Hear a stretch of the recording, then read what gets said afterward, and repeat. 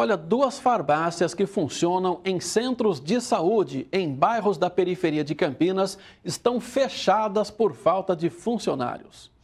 São exemplos de uma situação preocupante enfrentada pela população que depende da rede pública na cidade.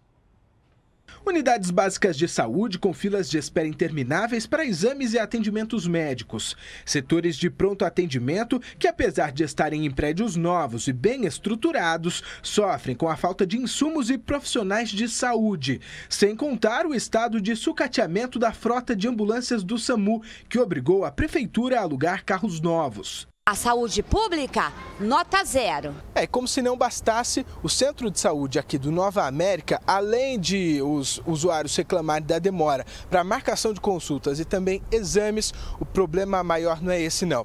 Quem vem aqui com receita para retirar medicamentos tem que voltar para casa. Isso porque a farmácia aqui do posto não tem funcionários para atender o público e por isso está fechada, mesmo tendo medicamentos é que a profissional que atende aqui está de licença médica. Um cartaz foi afixado no local onde é feita a entrega dos medicamentos.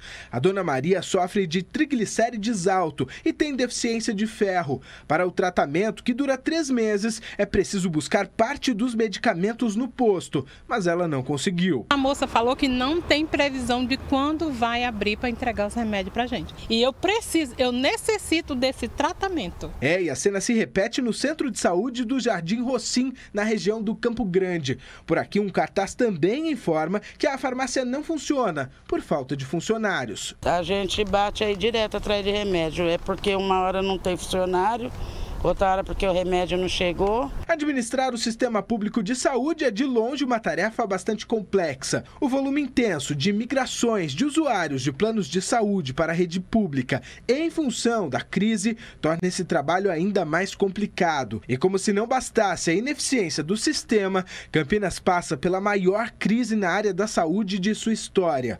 O Ministério Público de São Paulo investiga um esquema envolvendo empresários ligados à organização social Vitale antiga administradora do Hospital Ouro Verde e agentes públicos. O grupo pode ter desviado até 25 milhões de reais de verbas que deveriam ser destinadas a serviços de saúde municipais. Com os principais equipamentos de saúde sucateados e em descrédito pela maioria da população, o Hospital Mário Gatti já há algum tempo tem sido a escolha de muitos pacientes. E por isso, a busca por atendimento por aqui pode levar horas e até dias. Aqui ninguém está aqui por acaso, porque ninguém vai ficar esperando aí seis horas para ser atendido. A dona Claudete é prova disso. Recentemente fez uma cirurgia para a retirada de uma mama e hoje tinha horário marcado para tirar o dreno. Mas apesar de o procedimento ser relativamente simples e ter o encaminhamento do médico, ainda não tem uma previsão para ser atendida. Eu fiz uma cirurgia terça-feira.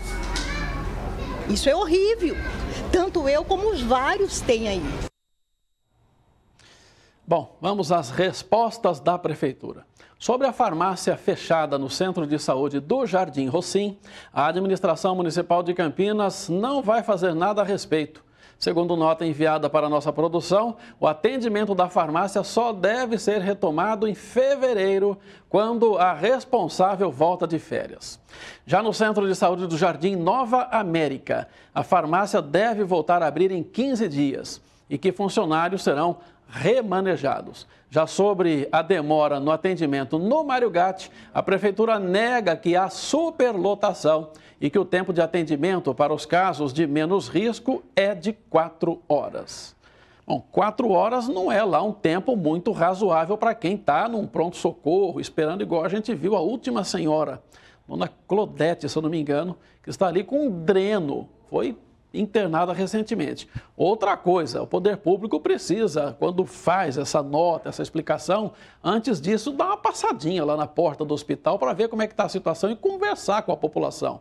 Porque é muito esquisito a gente mostrar uma reportagem ouvindo a população reclamando tanto e depois vem uma nota da prefeitura falando que está tudo sob controle.